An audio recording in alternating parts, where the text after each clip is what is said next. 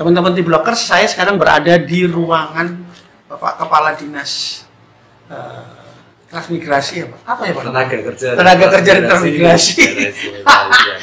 transmigrasi itu pernah menjadi uh, sebuah program unggulan di masa tertentu di beberapa ya. waktu yang lalu. Ya. Terkait dengan perkembangan zaman dan teknologi yang demikian cepat, kemudian transmigrasi, uh, bagaimana program transmigrasi yang akan datang akan kita lihat kemudian pemerintah akan berpijak pada kebijakan gimana untuk kebijakan transmigrasi karena lawan kita kan transmigrasi memindahkan sejumlah orang ke Pak Arya ya. dan suatu sana untuk ya. meningkatkan ekonomi dan segala macam kebetulan tanggal 12 Desember ada peringatan Hari Bakti Transmigrasi ya. nah Pak Arya saya mau tanya nih Pak kalau DIY dalam program transmigrasi itu eh, apa yang dilakukan Pak selama ini Pak program transmigrasi. Monggo Pak Arya silahkan. Ya, baik, uh, terima kasih dari teman-teman. Ini kita ngobrol-ngobrol terkait dengan program transmigrasi. Kalau terkait dengan program transmigrasi itu sudah sudah dilakukan ataupun sudah dilaksanakan sekitar 73 tahun. Jadi untuk sebuah skala program tentu saja program ini sudah berlangsung dengan cukup lama dan tentu saja ketika kita melihat aspek-aspek yang ataupun kemanfaatan-kemanfaatan dari program transmigrasi yang telah berlangsung 73 tahun ini tentu saja banyak sekali kemanfaatan-kemanfaatan yang dirasakan baik oleh uh, transmigrannya sendiri maupun uh, juga dirasakan oleh Eh, kawasan-kawasan uh, yang menjadi bagian dari pengembangan program transmigrasi ini.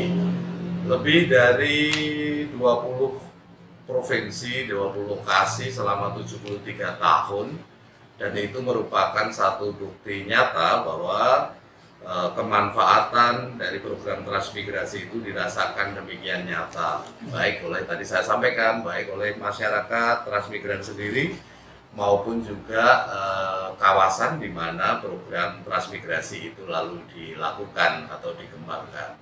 Baik, terima kasih Pak Arya. Teman-teman sekalian kita sudah mendengarkan bahwa selama 73 tahun pemerintah DIY ya Pak ya, pemerintah ya. DIY yang melakukan ya. itu. Pak, kalau dalam konsep atau konsepnya transmigrasi yang dilakukan oleh pemerintah DIY itu terakhir modelnya seperti apa Pak Arya? Apakah masih dengan model transmigrasi memindahkan sejumlah penduduk atau ada hal-hal lain Pak? Secara prinsip uh, konsep dan program transmigrasi seperti kita ketahui bersama adalah uh, penempatan atau pemindahan penduduk dari daerah istimewa Yogyakarta ke ditempatkan di lokasi-lokasi transmigran yang ada di beberapa tempat di pulau-pulau di di Indonesia, Pulau Sumatera, Kalimantan, Sulawesi, dan lain sebagainya. Nah, kalau kita melihat program transmigrasi ini memang di awal eh, program ini ada satu kewenangan sentralisasi dari dari pusat. Tapi seiring dengan berlakunya Undang-Undang Otonomi Daerah, maka dilakukan penyesuaian penyesuaian ataupun uh, perubahan pendekatan dari program transmigrasi ini lalu dijabarkan kepada kewenangan. Baik kewenangan ada yang di tingkat pemerintah pusat kemudian kewenangan bagi daerah istimewa Yogyakarta sebagai daerah pengirim transmigran maupun daerah uh, tujuan transmigran yaitu yang ada di beberapa titik penempatan transmigran itu Tentu saja yang tadi disampaikan bahwa daerah istimewa Yogyakarta uh, sampai dengan saat ini menjadi salah satu uh, daerah yang dikembangkan untuk sebagai uh, pengirim pengirim dari transmigran ini. Dan alhamdulillah uh, beberapa data evaluasi dari kami yang ada di Dinas Tenaga Kerja dan Transmigrasi daerah istimewa Yogyakarta beberapa pemberangkatan uh, transmigran sampai dengan saat ini cenderung mempunyai uh, apa namanya nilai kemanfaatan yang tinggi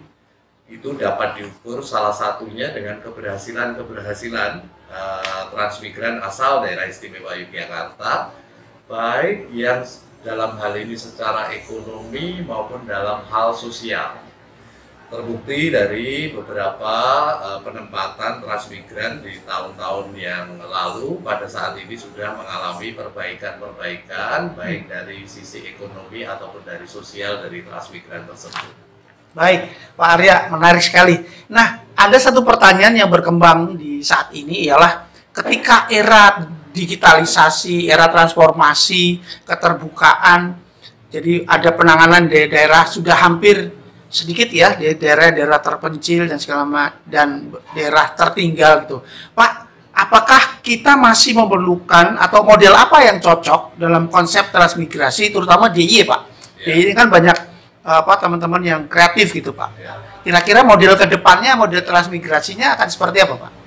Baik, uh, jadi sebagai salah satu daerah pengirim transmigran oleh Kementerian Desa, PDT dan Trans, daerah istimewa Yogyakarta juga sering kali di apa namanya uh, diharapkan ataupun diundang hadir dalam berbagai macam pertemuan-pertemuan untuk mengkaji bagaimana uh, program uh, transmigrasi itu dilakukan ke depan Salah satunya adalah dengan konsep transmigrasi modern, di mana konsep transmigrasi modern itu tidak sekedar lalu menggunakan konsep-konsep uh, transmigrasi konvensional yang telah hmm. lalu, tetapi bagaimana justru sumber daya manusia dengan menggunakan teknologi, kemudian juga menggunakan baik itu alat mekanisasi pertanian maupun teknologi informasi itu diharapkan juga me, apa namanya menjadi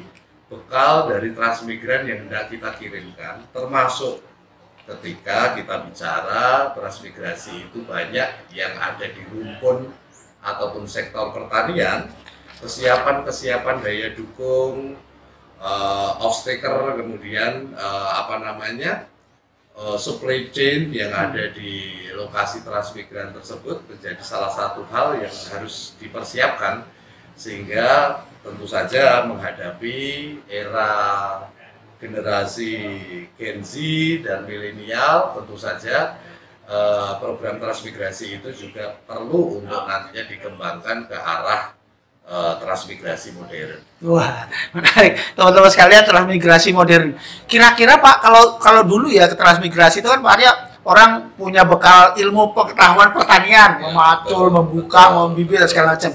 Kalau yang uh, transmigrasi modern yang Pak Arya ngendikakan itu kan uh, sebetulnya apa yang harus dimiliki oleh seseorang ketika dia ingin ikut program transmigrasi modern Pak di Ya, baik, tentu saja ketika arahnya adalah transmigrasi dengan konsep maupun pendekatan modern, tentu saja dimungkinkan tidak hanya teman-teman memiliki kompetensi di bidang ataupun di sektor pertanian, tetapi juga diharapkan nantinya eh, para transmigran ini juga mempunyai kompetensi atau kemampuan yang ada di sektor-sektor yang lain, sehingga ketika mereka lalu ditempatkan di dalam hal mengembangkan transmigrasi di daerah tujuan. Nantinya mereka akan bisa berkolaborasi mengembangkan uh, lintas sektor keilmuannya untuk kemajuan-kemajuan uh, program transmigrasi dan mereka bisa memanfaatkan uh, ilmu dan teknologi untuk betul-betul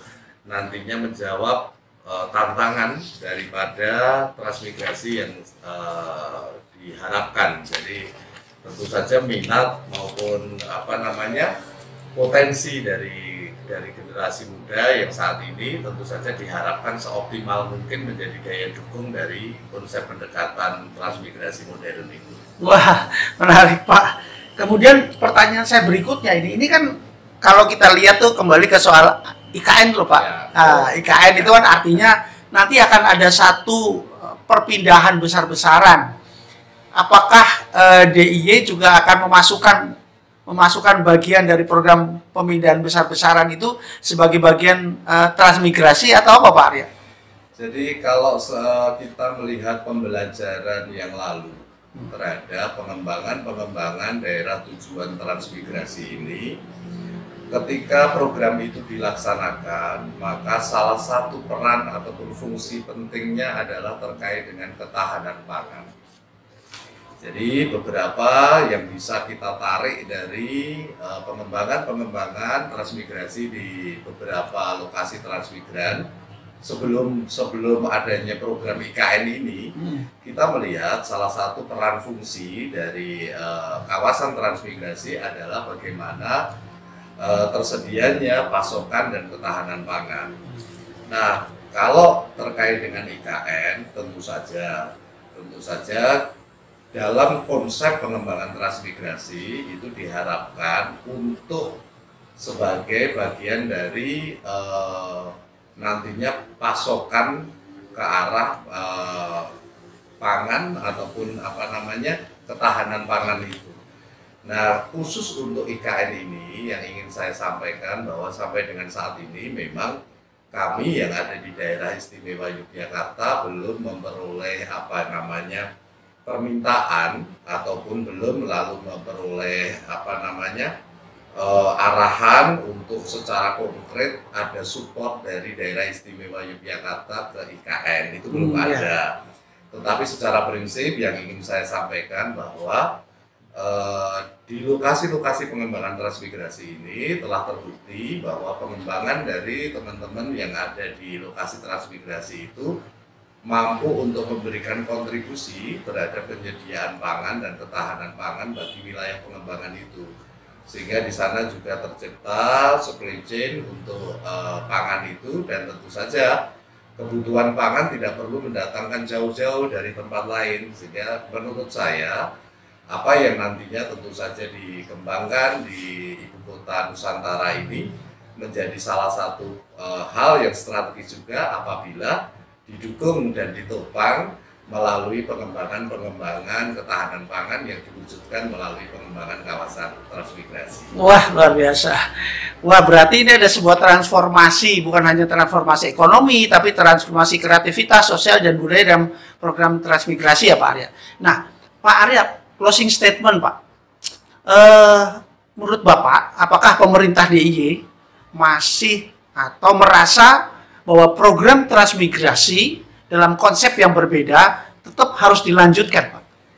Baik, kalau uh, kita melihat baik dalam konteks khusus daerah istimewa Yogyakarta maupun bagaimana daerah istimewa Yogyakarta memberikan kontribusi pada level nasional seperti kita ketahui bersama bahwa dalam aspek kepadatan penduduk kemudian pertumbuhan dan uh, apa namanya fokus ekonomi yang selama ini hanya uh, terprioritas di Pulau Jawa, Sumatera saja, itu perlu untuk dilakukan distribusi kepada wilayah-wilayah lain di negara kesatuan Republik Indonesia. Tentu kami dari daerah istimewa Yogyakarta ini masih menganggap atau masih melihat bahwa program transmigrasi ini adalah program yang strategis untuk tetap dilanjutkan dan tentu saja apabila nantinya diperlukan terkait dengan bagaimana upaya-upaya melalui pengembangan transmigrasi modern,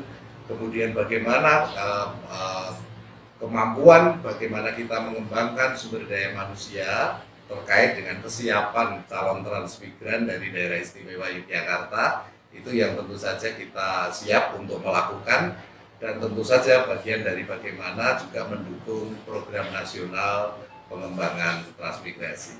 Gue terima kasih. Terima kasih Pak Arya. Sama-sama. Sudah lengkap sudah ini program-program uh, transmigrasi yang akan dilakukan oleh pemerintah. Terima kasih Pak. Selamat siang. Sami-sami. Selamat siang.